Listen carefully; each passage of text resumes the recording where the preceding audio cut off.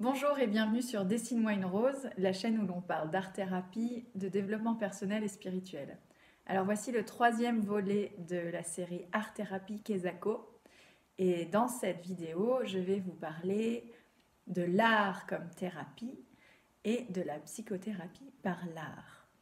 Et ce sont deux courants majeurs de l'art-thérapie.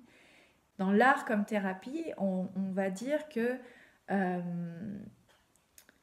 euh, ça peut se faire de manière individuelle ou collective.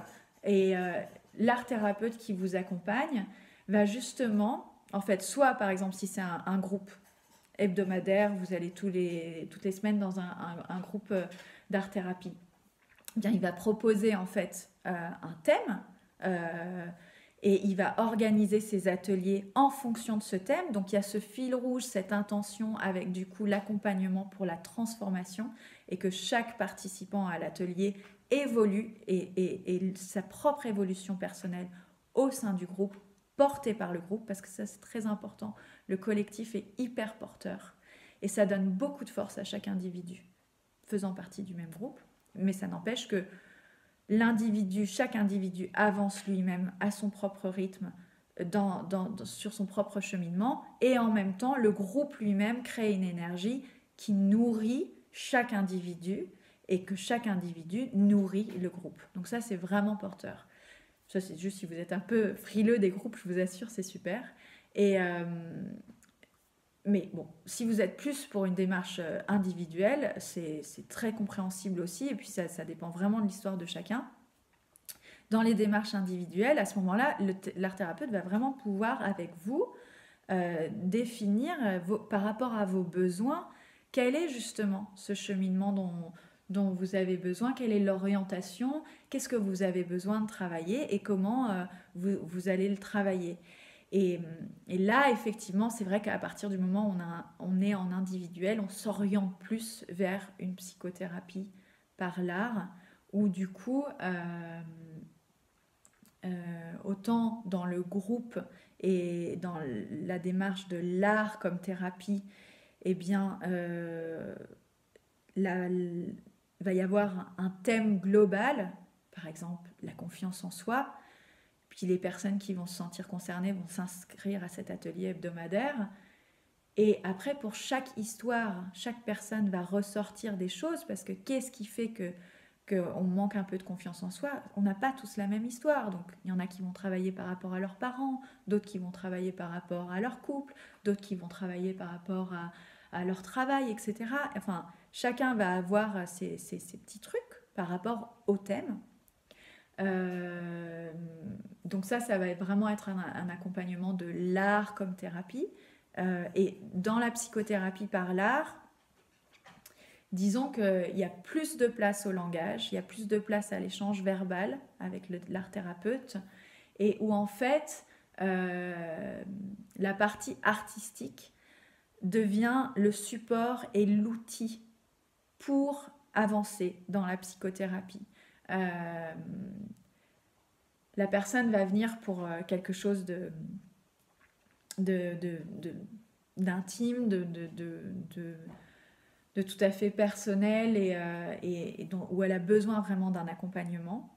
Et, et du coup, on va enrichir l'échange verbal par, à un moment donné, un temps d'expression artistique parce que dans ce langage sensible et symbolique, justement, émergent des choses qui ne sont pas sorties dans l'échange verbal, parce que c'est pas encore conscientisé, euh, parce que euh, c'était pas aussi clair dans l'échange, alors que dans l'expression artistique, on le verra comme étant le centre du, sujet ou du blocage.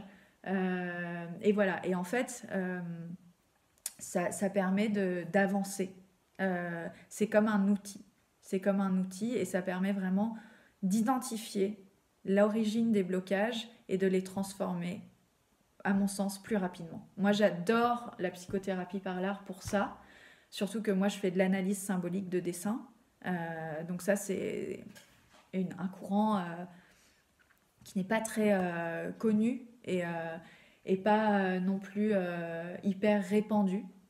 c'est basé sur la symbolique ésotérique et la symbolique mythologique et tout, enfin tout, tout l'univers en fait de la symbolique, eh bien j'analyse les, dessins ou les peintures et c'est comme en fait lire entre les lignes et ça permet de, délivrer les messages que votre inconscient a déposés dans ce que vous venez de créer.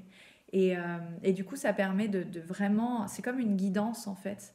Euh, moi, j'appelle ça des guidances symboliques. Euh, et moi, je suis vraiment interprète à ce moment-là parce que je vous transmets les messages que votre propre inconscient a déposés pour vous aider à, à cheminer et, et à, vous libérer. Donc, euh, moi, je trouve, je trouve que c'est un outil hyper puissant et, très, très agréable dans, dans, un cheminement personnel de, de, psychothérapie parce que du coup, on tourne pas autour du pot en fait. C'est très important d'avoir un moment d'échange et un, moment de, verbal, mais, mais, aussi à un moment donné, comme on a ces angles morts, le fait de, passer à un temps de création, eh bien, euh, ça permet de d'aller droit au but, j'ai envie de dire. Non, mais c'est vrai, on, voit tout de suite dans le dessin euh, de quoi la personne a besoin en fait. Qu'est-ce que lui demande euh, son, inconscient, qu'est-ce que lui demande son cœur, de quoi elle a besoin, de quoi elle a besoin de se libérer, quelles sont les croyances limitantes qu'elle a besoin d'évacuer, de, transformer, euh, quels sont les points de blocage, et, du coup, ça, c'est très efficace et ça va beaucoup plus vite, surtout qu'ensuite, euh, là encore, c'est ma pratique personnelle à moi, mais le processus de transformation, euh, j'y tiens énormément. J'appelle ça un rituel de guérison énergétique parce que on est vraiment pour moi dans l'énergétique, c'est-à-dire que euh, on va concrétiser, matérialiser, créer dans la matière en fait la modification. Et, on, va aussi la faire passer dans le corps pour vraiment qu'il y ait cet alignement tête, cœur, corps. C'est vraiment indispensable pour qu'il y ait une évolution parce que si c'est que votre tête qui comprend, mais que les messages ne sont pas intégrés dans votre cœur ou dans votre corps, il n'y aura pas de transformation, elle sera extrêmement limitée. Et, euh, et du coup, c'est très important que quand on passe à la transformation, eh bien, euh, il y a un vrai travail, une, un, un, vrai engagement, une, une, implication en fait de, de, la personne parce que cette intention, elle continue.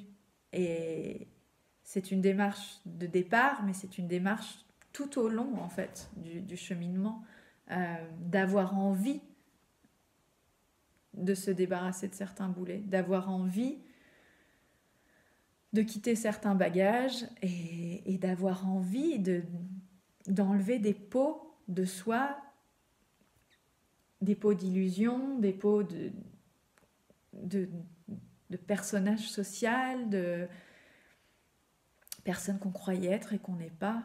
Euh, c'est pas facile, hein.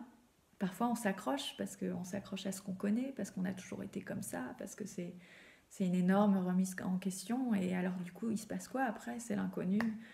Mais oui, mais si, si j'ai plus peur, euh, qu'est-ce qui se passe Ou ben oui, mais si je me je m'enlève cette étiquette, je suis qui Et tout ça, ben voilà, il y a un thérapeute pour vous accompagner là-dedans.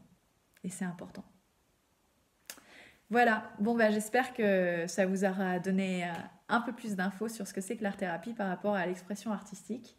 Et euh, si vous avez des questions, n'hésitez pas, je serai ravie d'y répondre. Eh bien, à bientôt pour une prochaine vidéo. Au revoir.